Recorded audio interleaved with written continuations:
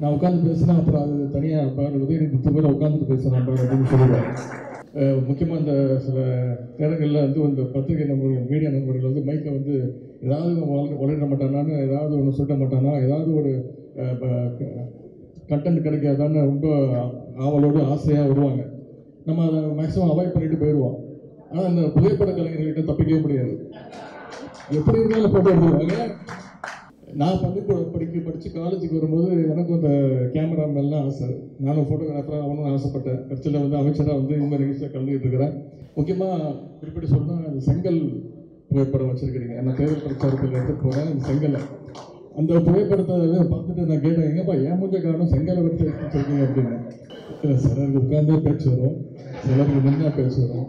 ஒரு கார்த்திகை செல்வெல்லாம் டிவியில் உட்காந்து பேசி டிபேட்லாம் பேசி பழகப்பட்டவர். அருண் வந்து உட்காந்து அவருக்கு பேசுகிறேன் இப்போ கோபாலனை பார்த்தீங்கன்னா நீங்கள் தான் பேசுகிறாரு நான்லாம் அவரோட அணி.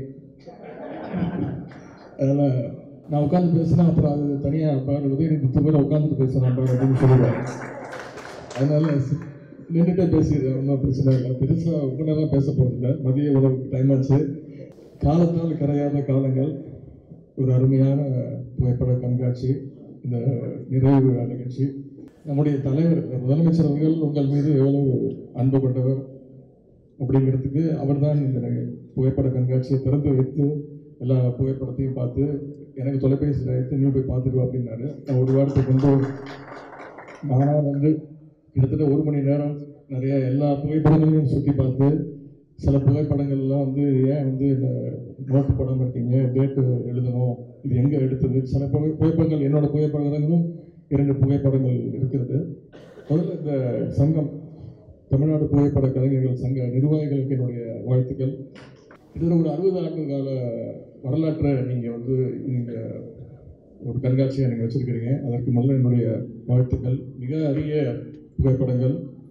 ஒரு கட்டுரை சொல்ல வேண்டியதை ஒரு புகைப்படத்தில் ஒரே புகைப்படத்தில் சொல்லிடலாம். நம்ம வந்து முக்கியமாக இந்த சில நேரங்களில் வந்து இந்த பத்திரிகை நண்பர்கள் மீடியா நண்பர்கள் வந்து மைக்கை வந்து ஏதாவது வள- வளர மாட்டானான்னு ஏதாவது ஒன்று சொல்ல மாட்டானா ஏதாவது ஒரு கண்டென்ட் கிடைக்காதான்னு ரொம்ப ஆவலோடு ஆசையாக வருவாங்க. நம்ம அதை மேக்ஸிமம் அவாய்ட் பண்ணிட்டு போயிடுவோம். ஆனால் அந்த புகைப்பட கலைஞர்கிட்ட தப்பிக்கவே முடியாது. எப்படி இருந்தாலும் ஃபோட்டோ எடுத்துருவாங்க. அதுக்கு பிறகு நான் அந்த நிகழ்ச்சிக்கு ரெண்டு வாட்டி வந்திருக்கிறேன்.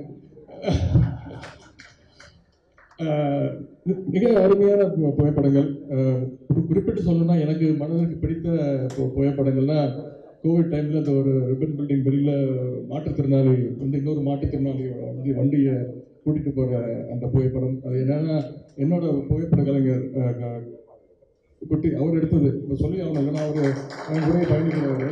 அவர் எடுத்த புகைப்படம். பேரறிஞர் அண்ணாவுடைய அந்த இறுதி ஊர்வலம் லட்சக்கணக்கான பேர் அவங்களாம் கேள்விப்பட்டிருக்கோம். இப்பெல்லாம் வந்து வரலாற்றையே மாற்றி பேசுறாங்க. இப்போ அந்த புகைப்படம் இல்லைன்னு வச்சுக்கோங்களேன் அண்ணான்னு ஒருத்தர் இருந்தார் இருந்தாருப்பா அப்ப- அப்படின்னு சொல்லிட்டு போயிட்டு போயிடுவாங்க. இப்போ அந்த புகைப்படங்கள்லாம் வந்து ஒரு வரலாற்று சாட்சியாக இருக்கிறது. இன்னும் ஒரு நிகழ்ச்சியாக சொல்றேன் என்னுடைய குடும்ப புகைப்படங்கள்லாம் வச்சுருக்கிறீங்க. நான் என்னுடைய தந்தையாரோட எடுத்துக்கிட்ட புகை புகைப்படங்கள் என்னுடைய தந்தையார் என்னை புகைப்படம் எடுத்த புகைப்படம். நான் பள்ளிக்கூடம் படிக்க படித்து காலேஜுக்கு வரும்போது எனக்கும் அந்த கேமரா மேலாம் ஆசை. நானும் ஃபோட்டோகிராஃபராக ஆகணும்னு ஆசைப்பட்டேன். கட்சியில் வந்து அமைச்சராக வந்து இந்த நிகழ்ச்சியில் கலந்துக்கிட்டு இருக்கிறேன் நானும் ம, புகைப்பட கலைஞர் சுந்தர்னு கேள்விப்பட்டிருப்பீங்க. சுந்தர் ரெண்டு பேரும் ஒன்றா தான் படித்தோம் க்ளோஸ் ஃப்ரெண்ட்ஸு அவன் வந்து ஃபோட்டோகிராஃபர் ஆகிட்டான் நான் அரசியலுக்கு வந்துட்டேன். அந்த புகைப்படம் அப்புறம் வந்து கலைஞருடைய இறுதி ஊர்வலம் அந்த புகைப்படம்.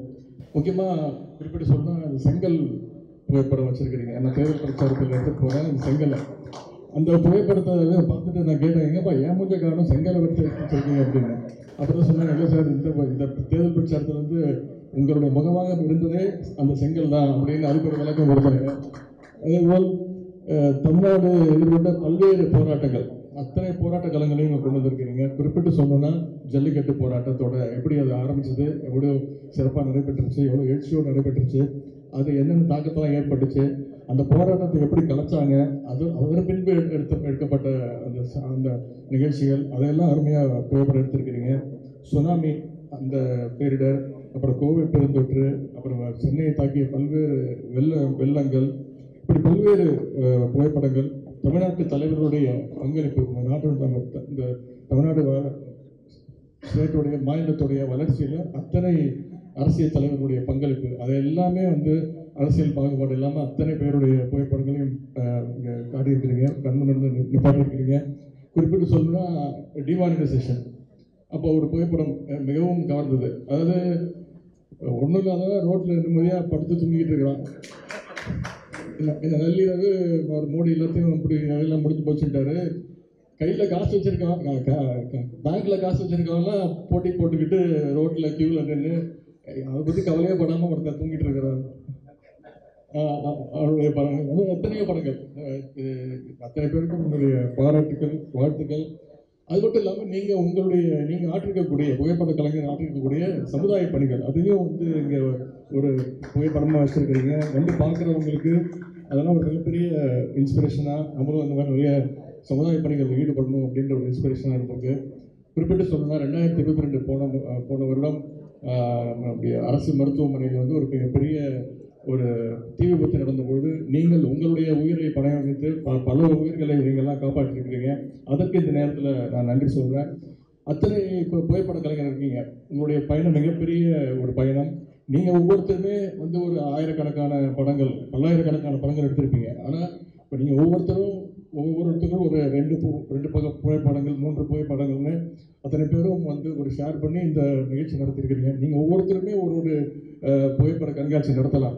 இது இந்த இன்னைக்கு இந்த சென்னையில் ஆரம்பிச்சிருக்கிறீங்க உங்களுடைய பயணம் மிகப்பெரிய வெற்றி பயணமாக இருக்கணும். தமிழ்நாடு முழுவதும் நீங்கள் இந்த புகைப்பட கண்காட்சியை அத்தனை மாவட்டங்களுக்கும் நீங்கள் எடுத்து செல்ல வேண்டும். அதற்கு என்ன நான் உதவியை நான் கண்டிப்பாக செய்வேன் சொல்லி அத்தனை பேருக்கும் கலந்து கொண்ட விருந்தினர் அத்தனை பேருக்கும் மீண்டும் என்னுடைய நன்றியும் வணக்கத்தையும் தெரிவித்து விடைபெறுகிறேன் நன்றி வணக்கம்.